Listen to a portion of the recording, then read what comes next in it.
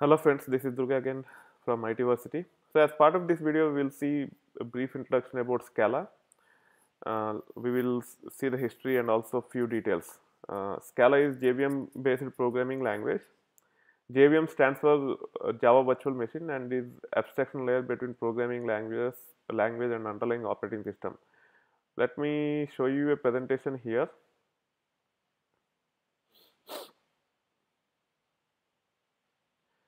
Okay, once we we have a server, uh, first thing we'll uh, do is we'll set up operating systems such as Windows, Linux, whatever you want to use uh, for your applications to run.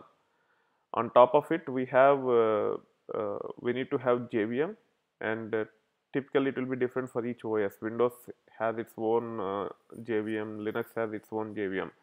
JVM is the abstraction layer between the programming language and um, and the underlying operating system.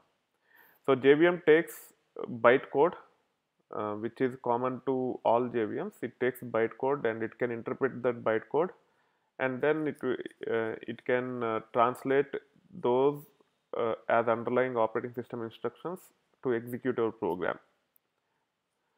And uh, to get that bytecode, we need to have the compiler, and uh, there will be a compiler for each of the programming language.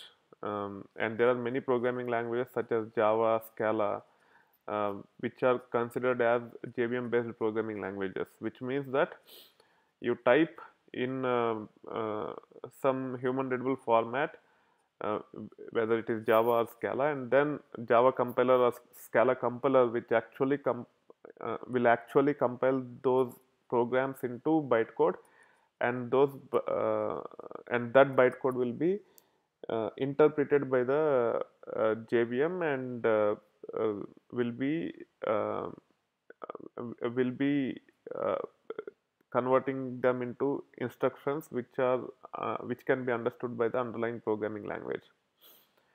So these are the programming languages um, which are JVM based Groovy, Ruby, Jython, Scala, Clojure, Kotlin on top of Java.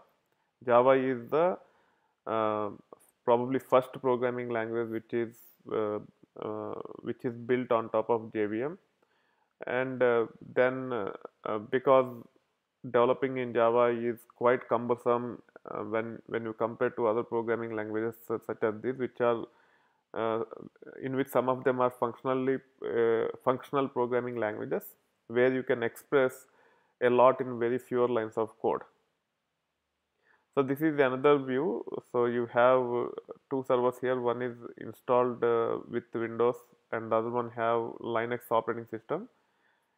Uh, so if you want to run any JVM based programming language, you need to set up uh, JVM as part of JRE and also JDK, and then uh, whenever you compile your program uh, uh, programs, irrespective of the programming language you have used, uh, if they fall under JVM based programming language, the program will be compiled into bytecode, which can be uh, interpreted by JVM and convert those into uh, low level instructions um, uh, with respect to the underlying operating system. So Java and Scala are the ones which we are talking about, and then there are other uh, JVM based programming languages like Groovy, Kotlin, Clojure, and a few more. Okay.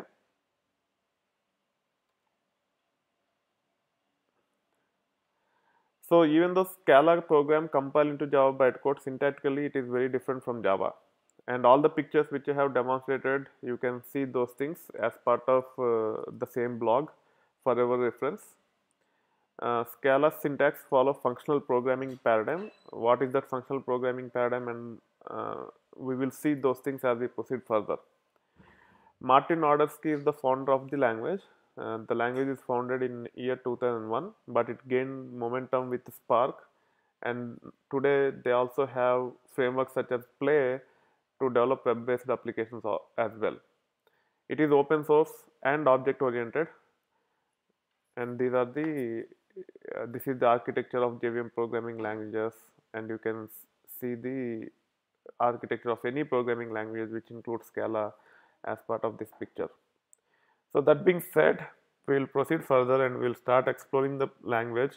We will understand the syntax, we will see how to develop programs using IDE, uh, etc. as we proceed further. Bye.